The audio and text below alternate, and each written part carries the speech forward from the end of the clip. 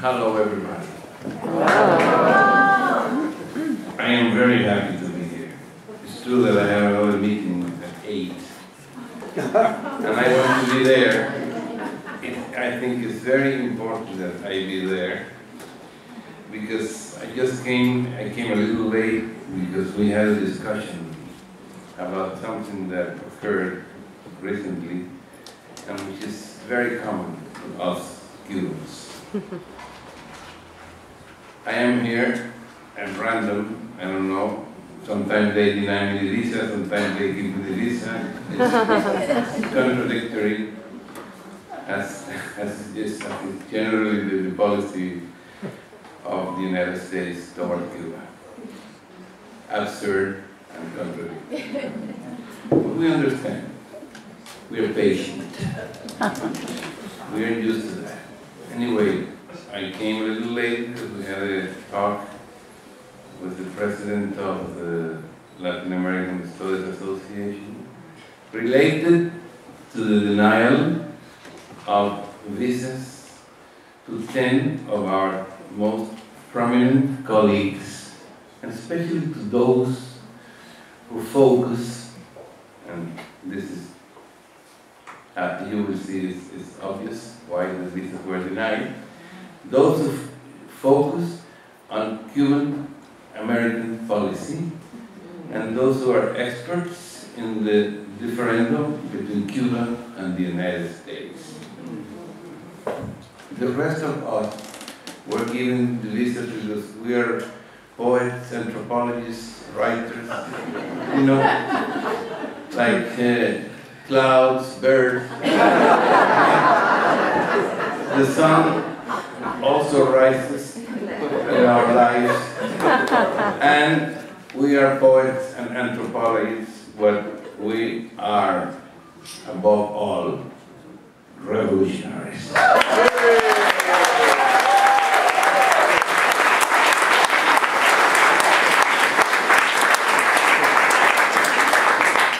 And then we learn, at least in my case, I am already 72.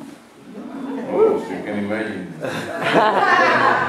All these things that have been said very intelligently and objectively here, I have experienced in my life.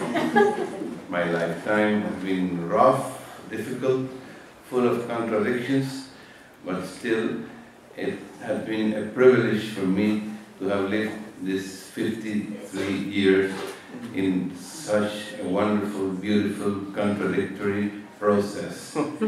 Even when we have uh, left behind part of our blood, our bones, our flesh, but we're still here, young and fresh, to always uh, support the most uh, noble and human, humanistic uh, projects and ideas of the human Revolution. So, I am not going to give a long speech because I really want to attend this meeting because we have the purpose, and this was discussed today, to distribute a document that I hope will be sent to the State Department uh, condemning this, uh, the reject and denial of the visas to our very prominent uh, colleagues. In this occasion, the more, those, as, as I said before, are more related to the Cuban uh, uh, policy uh, uh, between Cuba United States. So, uh, Gloria, well, Gloria would love, would want me to stay here longer and to talk about culture and the Cuban culture policy. But you all know, you all know very well that one of the main uh, aims and purposes of Cuba and of Fidel Castro since he took power in 1959 was to create an ambience, a world of culture uh, and illustration for the Cuban people.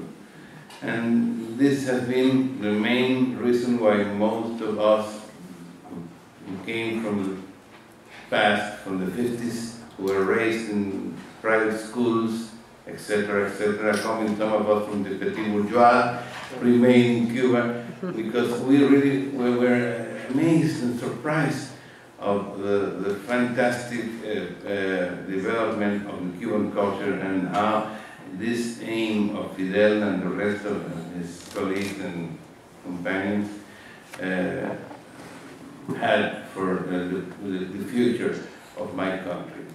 Before the revolution, before 1959, we had good writers, we had good dancers, as Alicia Alonso, and good uh, musicians. We have always had, had wonderful musicians, and artists and writers in general. But the, the, the real uh, increase of, of this uh, army of um, men and women of culture began in 1959 when it was Fidel Castro who had the idea to uh, enhance and create new ballets, new dance, uh, new ensembles of Cuban folklore, to create the Institute of uh, Art, to create uh, the, the, the schools of art, the film school. What the first law, by chance, the first law, in fact, that was uh, written and approved in Cuba in 1959 was the creation of the Film Institute, of the ICAIC. So you can imagine all these men coming from the mountains, thinking about the reform in the agrarian world, in the economy of Cuba, trying to change everything upside down, and having in mind the creation of a film industry and a film institute that has given such wonderful prestige to, to my country.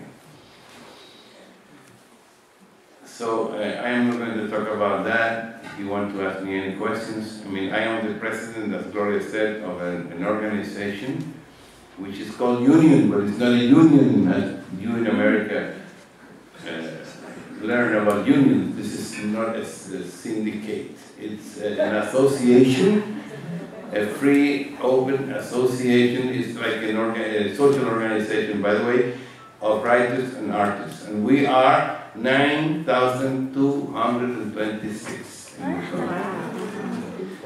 I am convinced and sure that before the revolution, first of all, we would have never, never existed in an organization like this unless with such an amount of, such a, great amount of people, like almost 10,000. And we are the vanguard. I mean, not, not all artists, not all writers belong to the Writers and Artists Union It's only the most outstanding one, those who have a curriculum, those who have an experience, those who have published books or, or presented, performed their, their culture and their activities all over the world, and basically in Cuba. So I think my, my real, uh, my real uh, reason to be here and my feeling is to thank you as a Cuban, as the president of the Cuban and, and artists, and just as a Cuban, to thank you for all you have done for Cuba to support and cooperate with our revolution, and to thank also Gloria La Riva, that whenever I see Gloria on TV in Cuba, I say, my God, we're going to win, we're going to win.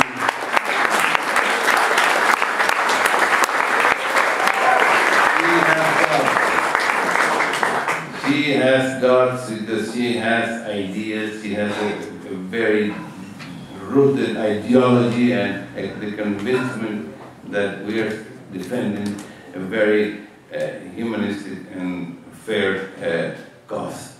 So thank you very, very much.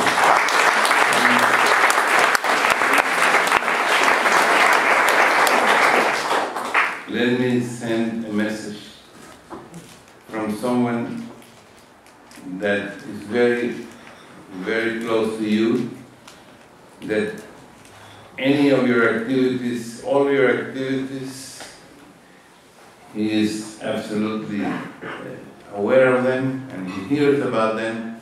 And I had the privilege yesterday to speak by the phone with him. I'm talking about Rene Gonzalez. Mm. So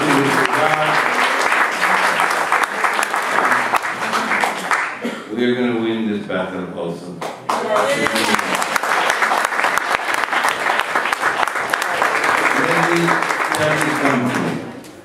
I'm sure you have seen this poster, Give Me Five.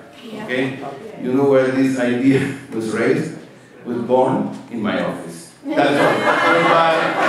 and when you see that man, it could be mine or any of yours. Okay?